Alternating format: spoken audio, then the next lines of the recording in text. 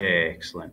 I apologize if the webcam's not embedding properly, but hey, gotta roll with the punches. So lesson six in our acids and bases unit, we've got to talk about some indicator dyes. So how indicators change color based upon pH. And this is a really cool part of chemistry because we've got these chemicals that change color based upon the concentration of acid or base in the solution.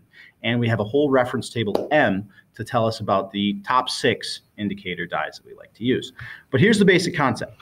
Indicator is a molecule that's sensitive to the acid or base ions. Acids are hydronium, bases are hydroxide, okay? And in it being sensitive, it changes color based upon the concentration of those ions that are present. So that's what I just said, right? It's going to change color if it's in an acid versus if it's base, different colors. That's what you got to remember.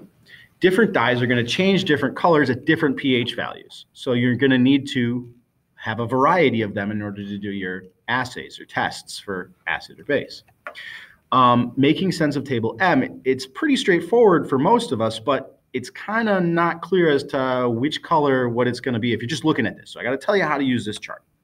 So you got to find the indicator of interest. So they're always mentioned by name, and that's the names: methyl orange, brom thymol blue, phenolphthalein, litmus, brom green, thymol blue, etc.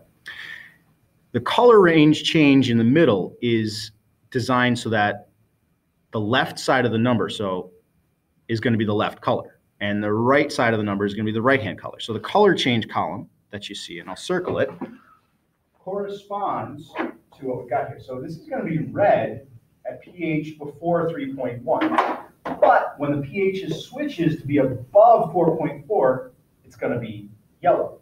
And in the middle range, well, you mix red and yellow. Red and yellow mixed together makes orange, which gives us that name for the molecule, methyl orange.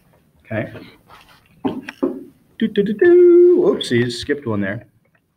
So below pH 3.1, methyl orange is going to be red and above pH 4.4, it will be yellow. That's kind of like the textbook way of reading table N. Below pH 6, bromothymol blue will be, hmm, bromothymol blue below pH 6 is going to be yellow, it says. And above 7.6, it will be, uh, looks like blue. And if it was right in the middle, mix yellow and blue, you've got green. So all these indicators can do both the color change that it shows plus the mix of the two colors that is shown when the pH changes right in the middle of the range. Okay.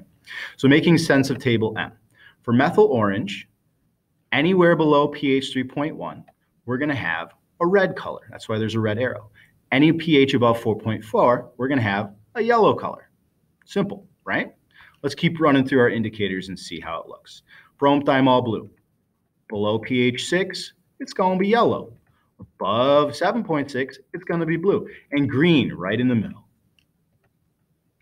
more indicators. Phenolphthalein. This one's cool because it's colorless below pH 8. It looks like you can't see it's there. But at pH 9, it turns pink, bright pink. Really neat. We're going to use that in our acid base uh, titration lab. Litmus. This is where I saw litmus paper earlier on, but litmus can come as a solution as well. Below pH 4.5, it's red, so it's red in an acid. And below, above pH 8.3, it's blue, blue in a base. Litmus, yay. Brom cresol green. Well, below pH 3.8, it's yellow. And above pH 5.4, it's blue.